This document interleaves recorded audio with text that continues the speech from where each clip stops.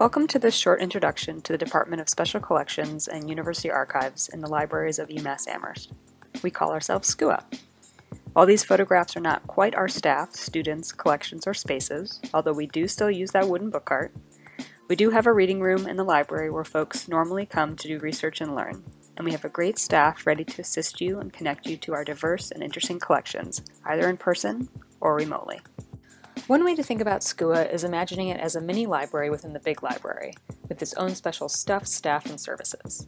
Our almost 1,500 collections are in all formats, and run the gamut from a single memoir to photograph collections, family papers, oral history recordings, and the records of the university, to our largest collection, the Mark McCormack Papers, which is around 2,500 boxes.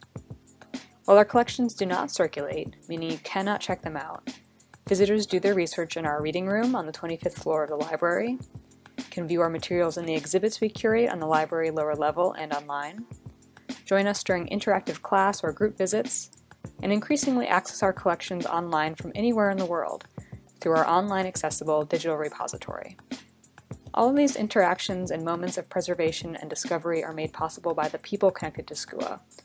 from our donors, research fellows and student assistants, to other collaborators and our wonderful staff. Thank you for your attention to this presentation, and to learn more, visit our website at scua.library.umass.edu.